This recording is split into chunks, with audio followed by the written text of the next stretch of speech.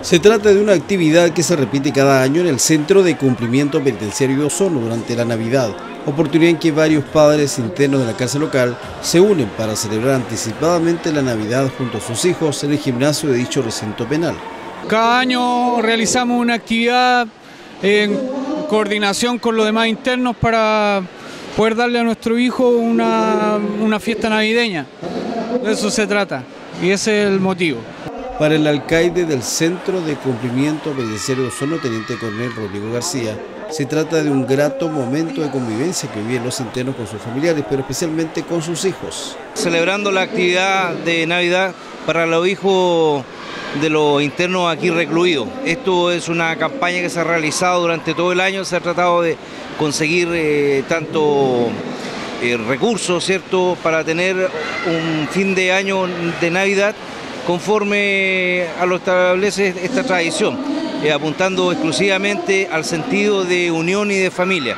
Esto ha sido posible también gracias al apoyo de los internos y también en forma particular quiero agradecer también a mi personal, al Padre Américo, al sargento Sea, que siempre ha estado dispuesto de colaborar y contribuir a este tipo de actividades. Los padres de los internos de la cárcel de Osorno valoran este momento en que los recursos tienen con sus familiares y sus hijos para compartir una animada fiesta prenavideña.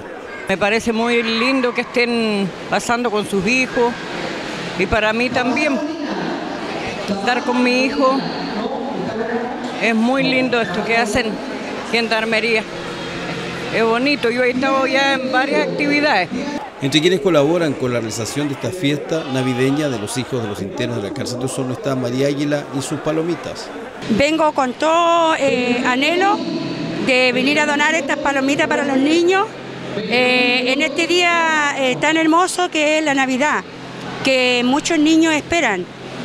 lo hago con todo cariño, con todo afecto, de, he venido a regalar estas palomitas para estos niñitos.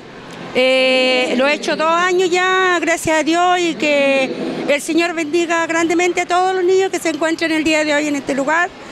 Y, que, y muchas gracias también por los funcionarios que dan esta oportunidad de poder llegar a este lugar eh, con el viejito pascuero para que estos niñitos todos se encuentren felices.